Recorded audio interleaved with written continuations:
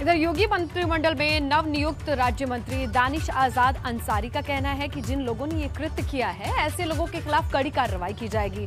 ऐसे अपराधियों को या तो यूपी छोड़ना होगा या फिर अपराध। योगी टू में कुल बावन मंत्रियों ने शपथ ली, लेकिन एक नाम सबको चौंकाने वाला था, वो था दानिश आज़ाद अंसारी का, क्योंकि दानिश विधायक भी नहीं है, विधान परिषद सदस्य भी नहीं है।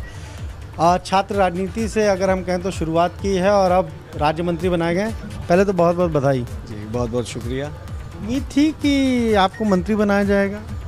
नहीं हमें ऐसी कोई उम्मीद नहीं थी। मैं तो संगठन के लिए और समाज के लिए निस्वार्थ भाव से कार्य कर रहा था और निश्चित तौर पे मेरे लगन को मेरे निष्ठा को संगठन ने देखा और मुझे इतनी बड़ी ज़िम्मेदारी दी। ये है कि कहाँ से शुरुआत हुई? किस विचारधारा से प्रभावित होकर ए बी ज्वाइन किया? कहाँ पढ़ाई लिखाई हुई? इसके बारे में कुछ बताइए। मेरी शुरुआती जो शिक्षा है वो बलिया से हुई। आ, होली क्रॉस स्कूल है वहाँ मैंने आईसीएसई बोर्ड से एल के जी से लेकर ट्वेल्थ तक मैंने वहाँ पढ़ाई की। उसके बाद मैं लखनऊ विश्वविद्यालय ग्रेजुएशन करने आया जहाँ मैंने बी कॉम किया और वहीं से मैं छात्र राजनीति में आया।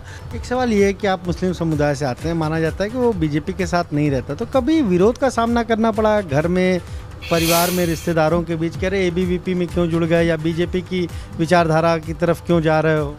नहीं मेरे परिवार ने और मेरे समाज ने मेरे समाज के जो आम लोग हैं उन्होंने कभी इसका विरोध नहीं किया। आप मंत्री मंडल में आप आ गए हैं विभाग का इंतज़ार है?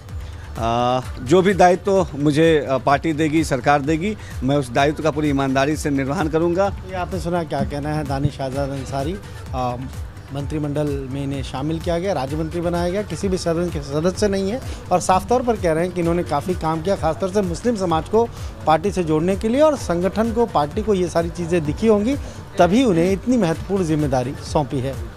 कैमरा वीरेंद्र के साथ अनुभव शुक्ला भी गंगा, लखनऊ।